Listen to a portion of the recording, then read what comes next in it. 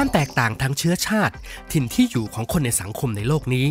ทำให้วัฒนธรรมของคนในแต่ละเชื้อชาติ มีความแตกต่างกันไป ไม่ว่าจะเป็นการดำรงชีวิต ที่อยู่อาศัย หน้าตา ผิวพรรณซึ่งล้วนมาจากสัญชาตญาณของมนุษย์ที่ต้องปรับตัวรักษาเผ่าพันธุ์ของตนเอง นอกจากความแตกต่างที่กล่าวมาข้างต้นแล้ว สิ่งหนึ่งที่ถือว่าเป็นอัตลักษณ์ของคนในแต่ละเชื้อชาติก็คือ อาหารนั่นเอง แต่ละชนชาติก็มีลักษณะจำเพาะหรือจุดเด่นที่แตกต่างกันออกไป ซึ่งทั้งหมดก็ล้วนมาจากการปรับตัวให้เข้ากับถิ่นที่อยู่ของแต่ละเผ่าพันธุ์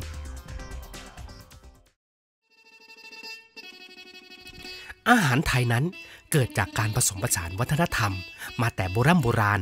และหล่อหลอมจนเป็นเอกลักษณ์เฉพาะที่ไม่เหมือนใคร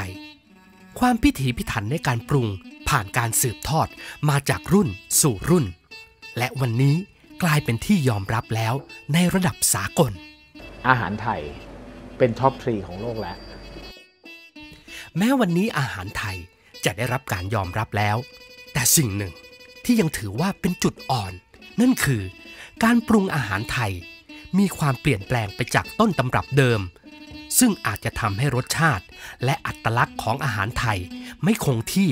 หรืออาจจะทำให้ผู้คนที่ไม่รู้จักอาหารไทยเข้าใจผิดไปได้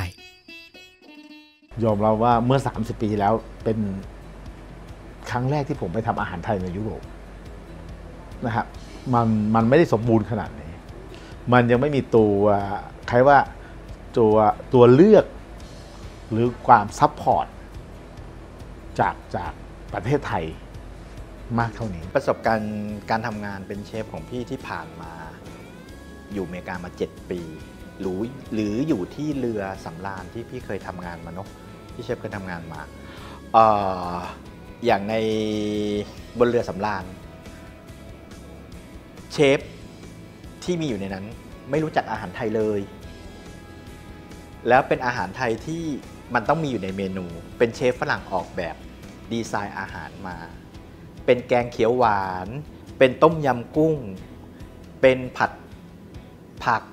เป็นอะไรต่อมีอะไรหลาย ๆ อย่างเนาะพอพี่ไปทำในเชฟไปทำในเรือสำราญมา ทุกคน happy มากเลย อ๋อ มีเชฟไทยมาแล้ว เดี๋ยวเราจะได้กินอาหารไทยที่ original เนาะเชฟไปทำงานที่บนเรือสำราญมา รู้เลย มีเมนูแกงเขียวหวานไก่ มีเมนูต้มยำ แล้วพอไปดู ingredient ของเขา หรือ recipe เขา อะไรไม่รู้ อะไรไม่รู้เลย มีวัตถุดิบของไทยจริง มีกะทิหรือน้ำพริกส่งออกของแม่พลอยเนาะแต่การปรุงของเขาเขาปรุงได้แบบเฮ้ยมันไม่ใช่อาหารไทยมันคืออะไรก็ไม่รู้ มันคือการเอาน้ำพริกมาละลายกับกะทิ พูดถึงมาตรฐานอาหารไทยอาหาร ผมว่ายุคนี้เอาดีมานก่อนแล้วกัน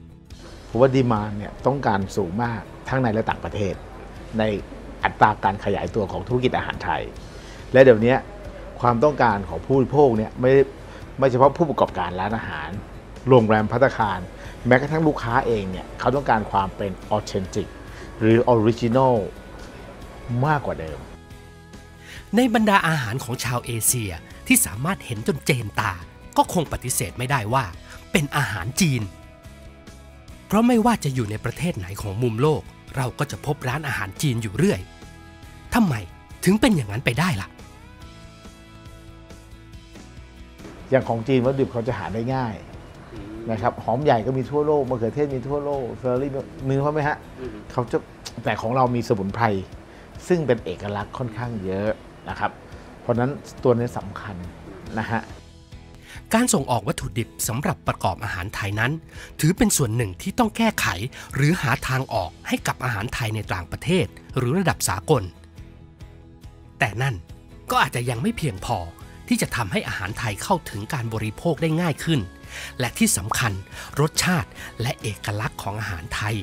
ก็ต้องคงคุณภาพและเป็นต้นตำรับเหมือนเดิมได้จริง